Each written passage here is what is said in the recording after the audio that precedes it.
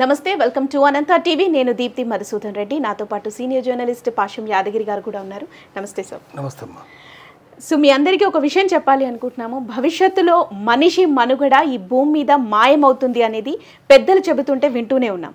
ఇప్పుడు అది జరగబోతుంది అనేది మనకి కళ్ళకి కట్టినట్టుగా కనిపిస్తూ ఉంది. అటు చూస్తే అంటార్కిటికాలో ఇప్పటికే మంచు కొండలు పూర్తిగా కరిగిపోతున్న పరిస్థితి. మన హిమాలయాలు కూడా ఒక ఒక్కొక్క పర్సంటేజ్ లెవెల్లో కరిగిపోతున్నాయి. ఇంకా భవిష్యత్తులో ఇంకో రాబోయే ఇరవై ఏళ్ళలో దాదాపు కరిగిపోతాయి అని అంటున్నారు. మరి ప్రస్తుత పరిస్థితి ఏంటి? ఎన్నాళ్ళకి మనకు అంటే ఒక సినిమాల్లో కూడా విన్నాము గంగా నది పూర్తిగా ఇంకిపోయింది అని చెప్పేసి రీసెంట్గా కల్కి మూవీలో కూడా చూసా చూసే ఉంటారు. అంటే భవిష్యత్తులో ఇంకా గంగా నది కూడా ఉండదు అనేది వింటూ ఉన్నాం. ఏంటి ప్రస్తుత పరిస్థితి ఏంటి? ఇంకెంతకాలం మనిషి ఈ భూమి మీద జీవించగలడు? ఏ విధంగా ఉందో తెలుసుకునే ప్రయత్నం చేద్దాం. సార్ చెప్పండి. ఇది మనిషే ప్రపంచానికి శత్రువు ప్రకృతికి శత్రువు మనిషే. ప్రకృతి ఏమో మనిషికి బతుకుండాలి జీవజాతులన్నీ బతుకుండాలనుకుంటుంది. జీవకోటి అంటే మొక్కలు ఉండాలి జంతువులు ఉండాలి పక్షులు ఉండాలి మానవులు ఉండాలి అనుకుంటారు. కానీ మనిషి ఏది ఉండొద్దు నేను ఒక్కనే ఉండాలి. ఎందుకంటే మనిషికి ఉన్న ఆకలి తొడేలు ఆకలి. తొడేలు తింటూనే ఉంటుంది ఏది వదిలిపెట్టదు. ఉల్ఫ్ హంగర్ అంటాం. అట్లా ఉన్నది. మనిషికి కూడా మామూలుగా ఏం చెప్తారంటే there are no murders only suicides. మనిషి తనను తాను చంపుకుంటున్నాడు ఆత్మహత్య చేసుకుంటున్నాడు. ఒక్కసారి చూద్దామా?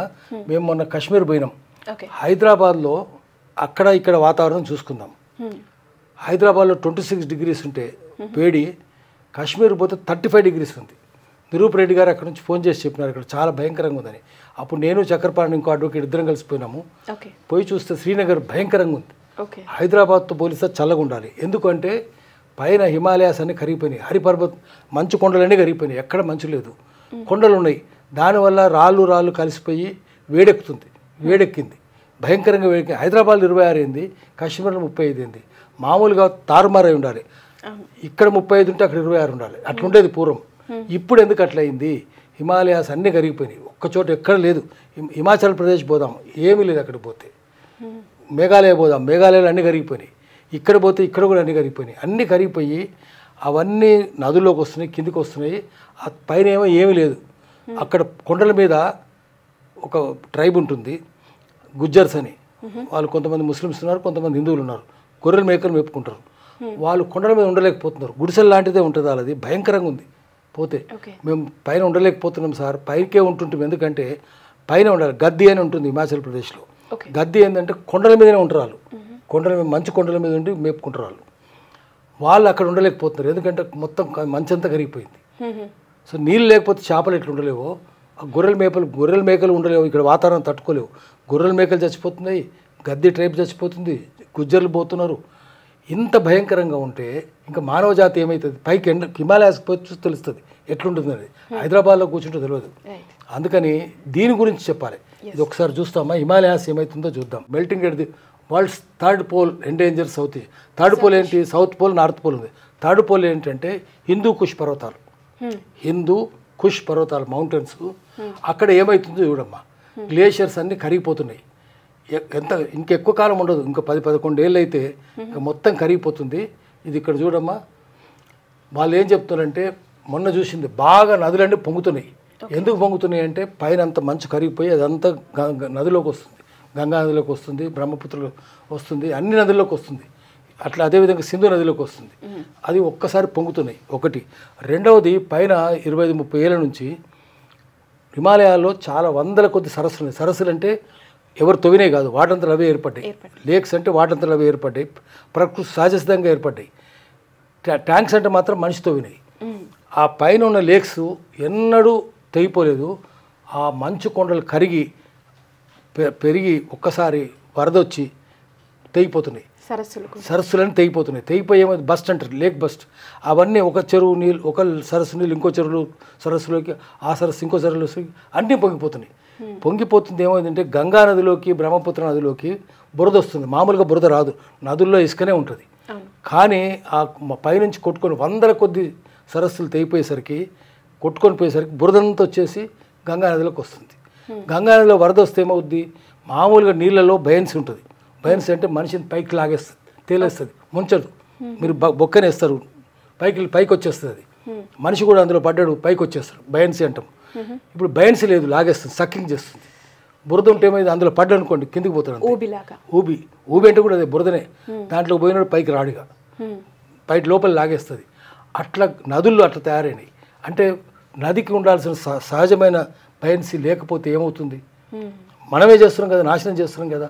అందుకనే భూమి పుట్టి నాలుగు వందల యాభై మూడు కోట్ల సంవత్సరాలు అయిందని అంచనా.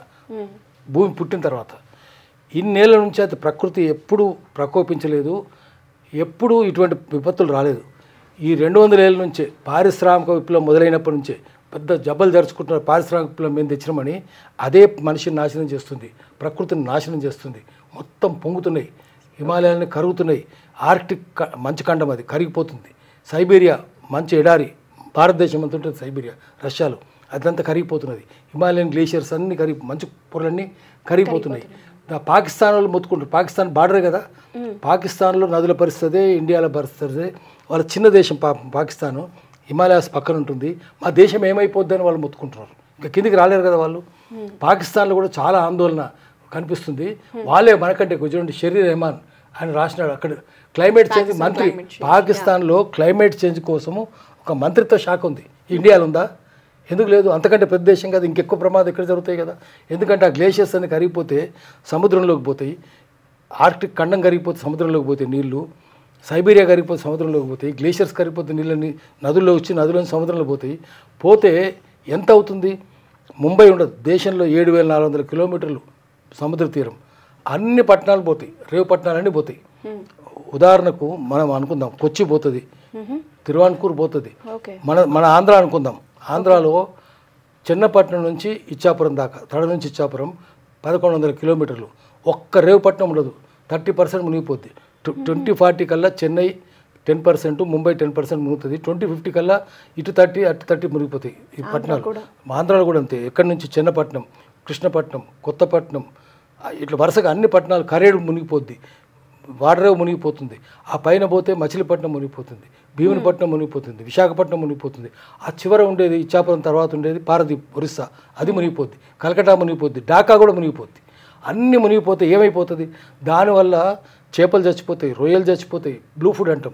రొయ్యలు చచ్చిపోతాయి పీతలు చచ్చిపోతాయి మొసలు అన్నీ చచ్చిపోతాయి ధర ఏమవుతుంది చాలామంది దేశంలో థర్టీ పర్సెంట్ చేపలు అనేది బతుకుతారు. వాళ్ళు మాంసం మీద ఆధారపడాలి. కాబట్టి ఏమవుతుంది మాంసం ధర హైదరాబాద్ సిటీలో హైదరాబాద్ అంటే బిర్యానీ కదా? ఎంత ధర అవుద్ది? ఒక- బిర్యానీ ప్లేటు రెండు వేల రూపాయలు అవుద్ది. ఎందుకంటే మాంసం ధర పదివేల రూపాయలు అవుతుంది కిలో మాంసం పదివేల రూపాయలు. ఇంత భయంకరంగా ఉంటే ఏమవుతుంది? మానవ జాతి ఏమవుతుంది? కనిపెట్టాలి. ఇట్లా ఉంచాలి కదా? ఇక్కడ చూడండి ఏమవుతుందో. ఫోర్త్ అసెస్మెంట్ అక్కడ చెప్పింది ఏంటంటే Himalayan which predicted that Himalayan glaciers melt away by twenty five thirty five 35. అంటే ఇంకేంది? పదకొండు పన్నెండు ఏళ్ళలో భయంకరంగా వస్తుంది. మొత్తం కరిగిపోతాయి. అప్పుడు ఏముంటుంది? ఇప్పటికే పాకిస్తాన్లో ఆఫ్ఘనిస్తాన్లో అన్నీ కరిగిపోయినాయి. మయన్మార్లో కరిగిపోయినాయి. ఇంకా భయంకరంగా ఉంటుంది. అందుకని saint university of saint orders వాళ్ళు వాళ్ళు స్టడీ చేసి చెప్తున్నారు. ఏముండదని చెప్పేది? అందుకని ఇక్కడ చూద్దామమ్మా ఎంత భయంకరంగా ఉంటుందో చూద్దాము. పాకిస్తాన్లో కారకోరం పర్వతాలు ఉన్నాయి. అక్కడ ఏమవుతుంది అక్కడ నిన్నదాకా బాగుండేటి ఇప్పుడన్నీ కరిగిపోతూనే ఉన్నాయి. ఇంకో ఫోర్ హండ్రెడ్ ఇయర్స్లో టూ ఫార్టీ పర్సెంట్ కరిగిపోతాయి అని చెప్తున్నారు ప్రపంచవ్యాప్తంగా. అప్పుడు ఏమవుతుంది? సముద్రం అన్ని పొంగిపోతాయి. ఏముండదు. అందుకనే మానవ జాతి నాశనం అవుతుంది అందుకనే చూడమ్మా ఏమవుతుంది చూద్దాం ఇక్కడ చూద్దాం ఇది డూమ్స్ డే చూద్దాము. డూమ్స్ డే గ్లేషియర్స్ గురించి కూడా రాసినారు. ఇది టైమ్స్ మ్యాగ్ టైం వీళ్ళు చూద్దాము. అంటార్క్టికాలో ఉంది ఇది ట్వంటీ టూ ట్వంటీ టూ. ఇక్కడ ఏం చెప్పినారు? ఇప్పుడు తవాయిడ్స్ గ్లేషియర్స్ ఉన్నాయి. అవన్నీ కరిగిపోతున్నాయి. కరిగిపోతే ఏమవుతుంది ఐస్ షీట్ మొత్తం చాలా ప్రమాదకరంగా ఉన్నది. దానివల్ల భూమి టాక్టానిక్ ప్లేట్స్ కింద ఉంది. టాక్టానిక్ ప్లేట్స్ తల కిందలు అయిపోతున్నది. ఇప్పటికి పొంగిపోతున్నది. అంటే దానివల్ల ఏమైంది దానివల్ల భూకంపాలు వచ్చే ప్రమాదం ఉంది. భూకంపాలు టాక్టానిక్ ప్లేట్స్ అటు ఇటు కదిలితే అవుతుంది. ఇది చూడండి. Warmed ocean water melts doomsday. సముద్రపు నీరు వేడెక్కుతున్నది. వేడి ఎందుకంటే క్లైమేట్ చేంజ్. క్లైమేట్ చేంజ్ ఎందుకంటే బొగ్గుకు తగలబెడుతున్నాము.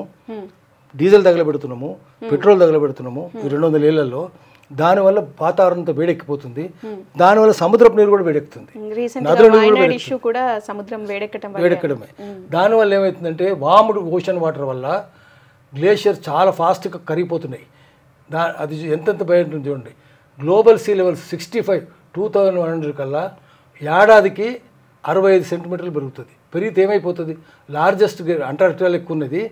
Approximately annual ice loss fifty billion tons. ఏడాదికి యాభై అంటే ఐదు వందల కోట్లు ఐదు వందల కోట్ల టన్నుల ఐస్ కరిగిపోతుంది ఏడాదికి. ఏమైపోతుంది? దీన్ని బట్టి పెద్ద పెద్ద స్విమ్మింగ్ పూల్స్ అవన్నీ ఏర్పడుతున్నాయి. దానివల్ల ఇంకా ప్రమాదం ఉన్నది.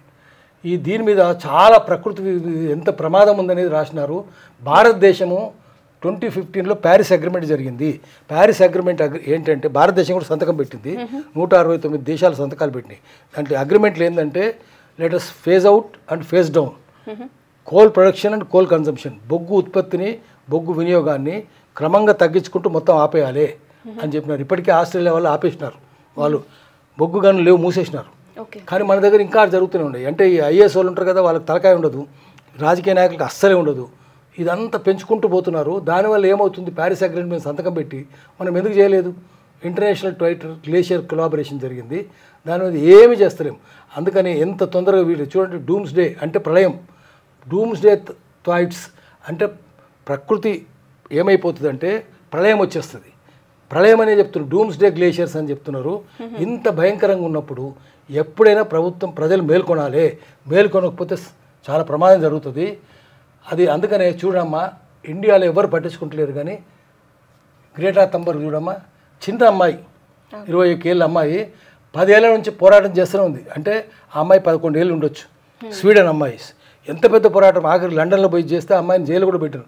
అయినా చేస్తారు మొత్తం మీరేనా? స్వార్థపరులా? మీ వర్గ మీ తరమేనా? మా తరానికి ఏం మిగిల్చరా?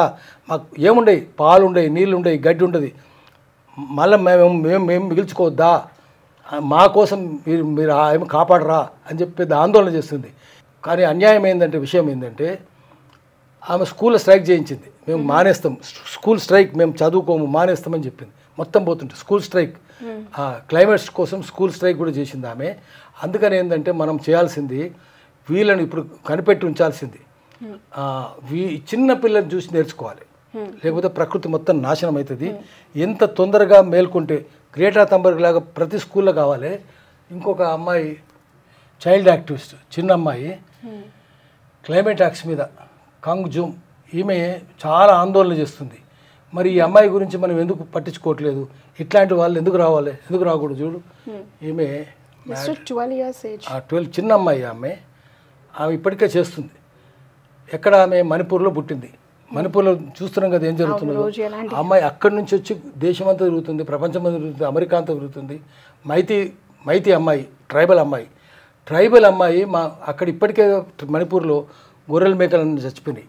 ఏం లేవు. దానికి కారణం ఏంటంటే బతకలేకపోతున్నారు మైతి వాళ్ళు. అందుకని అమ్మాయి పోయి అన్ని చోట్ల తిరుగుతున్నది. ఆమె ఇంతకుముందు లుసిప్రియ ఆమె చూసినాం కదా ఆమె కూడా కేరళ ఫ్లడ్ ఆమె అట్లనే చేసింది. పినరై విజన్కు ఆమె లక్ష రూపాయలు డొనేషన్ చేసింది. ఈ అమ్మాయి చిన్న కేరళ అమ్మాయి అమ్మాయి లుసిప్రియ అందుకని ఇట్లా ఇక్కడ మన దగ్గర చేస్తూనే ఉన్నారు. వీళ్ళిద్దరు కలిసి వేరికి వచ్చి చిన్న చిన్న పిల్లలే వీళ్ళంతా. చిన్న పిల్లలకి ఎందుకంటే రేపు భవిష్యత్తు ఏమవుతుంది మా భవిష్యత్తు ఏమవుతుంది వాళ్ళకి ఫికర్ ఉంది. పెద్దవాళ్ళకి లేదు. మేము తిన్నాం తాగినాం చచ్చిపోతాము. రేపు చచ్చిపోతాము. ఏ ఎవడు చూసినా ప్రపంచాన్ని అని అంత స్వార్థం ఎక్కువైపోయింది. వైరాగ్యం ఎక్కువైంది. చిన్న పిల్లల కోసం పనిచేయాలి. ప్రపంచం ఏముంటుంది? చిన్న చిన్న పిల్లలు ఎందుకు చేస్తుండ్రు? మీకు ఎందుకు బుద్ధి ఉంటలేదు? రా రాజకీయ నాయకులకు ఎందుకు బుద్ధి ఉంటలేదు?